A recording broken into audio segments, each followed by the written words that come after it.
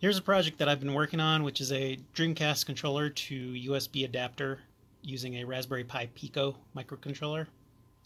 And at the moment, what I have is a rough implementation where if I press the A button, you'll see the LED turn on on the Pico.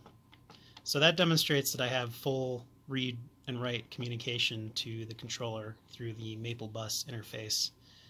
Um, I also created a Saleae um, analyzer library so that I could debug this a little better. So both of these projects, uh, I'll have links in the description below.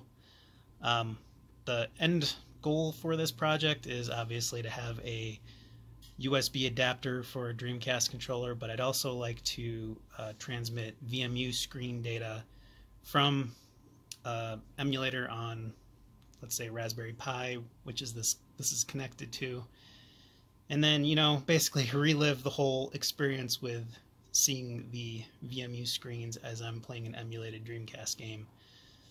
Um, stretch goals would be to try to grab uh, save data off of a VMU so I can pick up where I left off on a emulated system.